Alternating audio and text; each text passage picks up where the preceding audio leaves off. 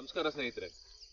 ಇವತ್ತಿನ weekend trips with ಮೀನಲ್ಲಿ ನಾವು ಬರ್ತಾ ಇದ್ದೀವಿ ಸೋಲಿಗೆರೆಗೆ, ಬ್ಯಾಂಗ್ಳೂರಿಂದ ಕನಕ್ಪುರ, ಕನಕಪುರದಿಂದ ಸಾತ್ನೂರು, ಸಾತ್ನೂರಿಂದ ಒಂದು ಏಳೆಂಟು ಕಿಲೋಮೀಟರ್ ಟ್ರಾವೆಲ್ ಮಾಡಿದ್ರೆ ಲೆಫ್ಟ್ ಟರ್ನ್ ಆದರೆ ಹರಿಹರ ಅಂತ ಸಿಗುತ್ತೆ, ಅಲ್ಲಿಂದ ಸೋಲಿಗೆರೆ.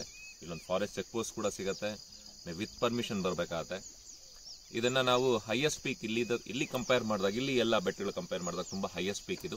ಇದನ್ನು ನಾವು ಊಟಿ ಹೇಳ್- ನಾನು ಆಲ್ಮೋಸ್ಟ್ ರಿಮೋಟ್ ಪ್ಲೇಸಸ್ನ ತೋರ್ಸೋದಕ್ಕೆ ಪ್ರಯತ್ನ ಮಾಡ್ತೀನಿ ವೀಕೆಂಡ್ ಟ್ರಿಪ್ಸ್ ವಿತ್ ಮೀನಲ್ಲಿ ಸೊ ಸಪೋರ್ಟ್ ಮಾಡಿ ಲೈಕ್ ಮಾಡಿ ಸಬ್ಸ್ಕ್ರೈಬ್